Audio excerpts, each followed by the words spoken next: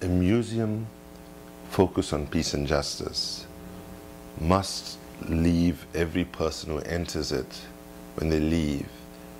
The one important thing that they need to internalize, I think, is that action speaks louder than words and peaceful action speaks the loudest in terms of trying to get your action, uh, trying to get your agenda advanced.